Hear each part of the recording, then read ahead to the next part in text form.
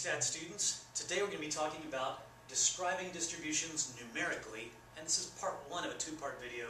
And part one is going to talk about the box plot and the five number summary. Okay? So let's just jump right into it. Let's look at a, uh, hey, here's a, a, a, set of a set of data. Um, I'll tell you what this is. This is from the 2010 census. These are people who were taken from the uh, Houston metropolitan area, and th these are their ages. Okay, just 98 randomly selected people from the Houston metropolitan area, and this is how old they are. Uh, and I specifically took adults, so 20 year olds and up. Um, so we can see that this is uh, skewed to the right. We have a few, uh, uh, we have a tail that kind of goes out here to the right. And we can see that the center of our data might be yeah, low 40s, somewhere around the low 40s. Okay, now, uh, when we're when we're talking about box plots and the five number summary, we're going to actually get very, very specific about what we consider what we consider the center of our data. And uh, here, the center of our data is going to be considered the median. Okay, I'm sure y'all know how to calculate the median, but just in case you've forgotten, you put all your numbers in order, it's going to be the middle number. If you have an even number, then you have two middle numbers, and you take the average of those two. So when you look at a dot plot, basically you just count in and you find the middle dot. Okay? So there's the middle dot right there, right on 40. So we say 40 is the center of our data, that's our median. Okay? We're also interested in other uh, particular points, particular measurements. One is the median of the left side of the data. So basically what we're going to do is we're going to ignore the upper 50% of our data and just look at the lower 50% of our data.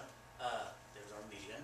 Okay, and when we take the median of this half, there it is, we call that Q1, or the lower quartile or the first quartile of our data. So this is the median of the entire data set. This is the median of the lower 50%. Here's the median of the upper 50%, which we call Q3, or the upper quartile, or the third quartile of our data set.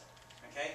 And these three values, along with the minimum and the maximum, are what we use to create our box plot. Okay? So, also known as a box and whisker plot. Okay? This whisker has the lower 25% of the data. This left-hand part of the box has 25% of the data. The right side of the box has 25% of the data. And this right whisker has 25% of the data. So that's really what the box plot do, does, is it takes your data set and chops it up into quarters. And then shows you, here are the quarters. Uh, you can still see the general shape of the data because this whisker is really, really long. So we can see, okay, that's spread out. That means that uh, uh, uh more of our data is going to be concentrated over here. So that means this is going to be skewed out to the right. Okay? So the box plot is basically based on the five number summary. That is the minimum, Q1, the median, Q3, and the maximum. That is our five number summary. Okay? Now, the box plots that we're going to be looking at, however, are a little bit different from this because the box plots we're looking at also have outliers. Okay? We're specifically, we're going to come up with a, a, a specific guideline on what to consider an outlier and what to not consider an outlier. Uh, but before we do that, I want to talk about something else, and it'll be obvious why I'm doing it in this order in. And the something else I want to talk about is ways of measuring spread. Okay? Now, we talked about how to measure the center of the data with the median. Now I want to talk about how to measure spread. Well, one way is really easy. You just take the range. Okay? Just look at the maximum value minus the minimum value, and that's going to get you the range of your data. Another way is to look at the IQR, or interquartile range. And what the interquartile range is, it's the range of the middle 50% of your data. Okay? It's Q3 minus Q1. So in this particular case, our range is 63 years because we're taking our maximum, 83, minus our minimum, 20.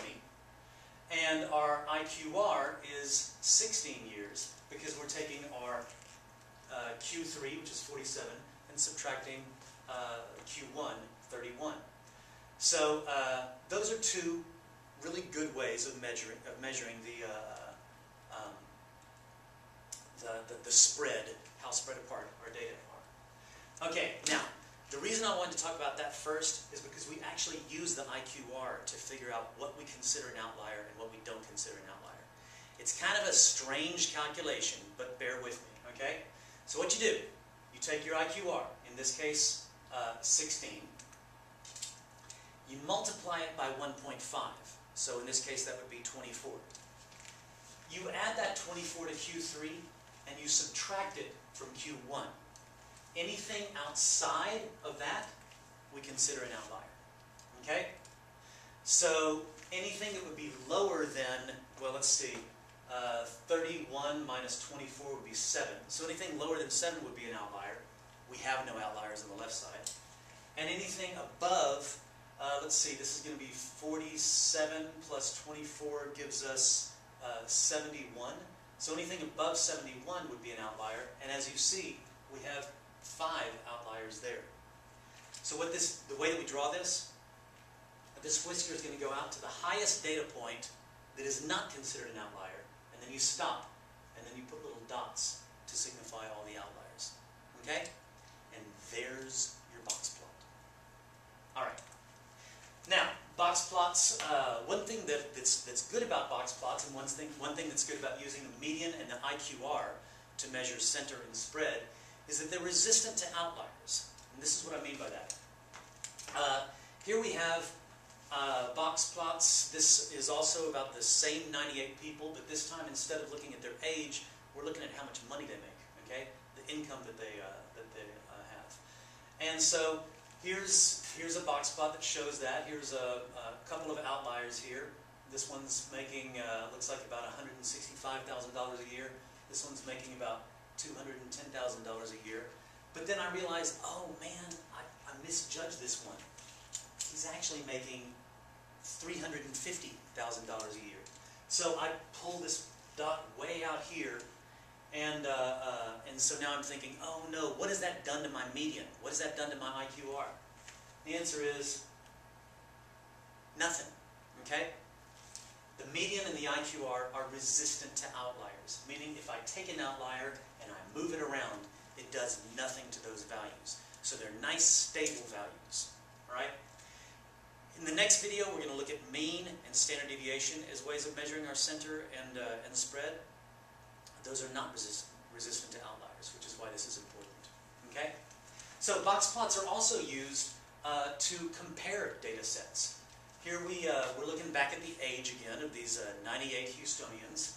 And this time I've split them up between males and females. And so now I can look at these, uh, these data and I can see, well, my typical male, the median, is actually older than my typical female. As a matter of fact, the youngest male that I have is about as old or older than 25% of the women. This is kind of weird. I, I got a bunch of young women and not too many young men. Uh, on the other hand, all the oldest women, older than the men. Hmm.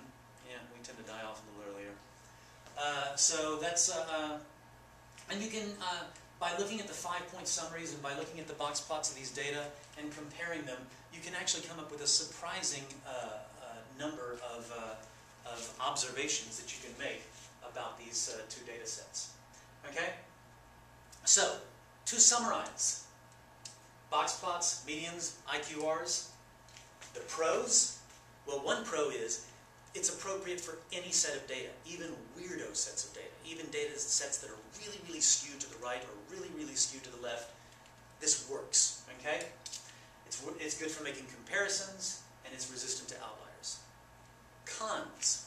Well, one big con is these are not the measurements we're going to be using when we do uh, statistical inference in the future. We're going to be using the mean and the standard deviation uh, simply because the mathematics of these doesn't lend itself to, uh, to doing inference. Okay? Uh, another con about using a box plot, as opposed to the histogram or a dot plot or a stem plot, this doesn't tell you anything about how many data points we're looking at. Okay? When you look at a box plot, you have no idea if this, if the, the, the size of the sample is 10 or 1,000 or a million. You just don't know. Okay? All you know is the, you know, where, where's this quarter of the data, this quarter of the data, this quarter of the data. All right? So uh, uh, those are your pros, those are your cons, and uh, those are your box plots, and that's your median IQR. In the next video, we're going to look at mean and standard deviation. Adios.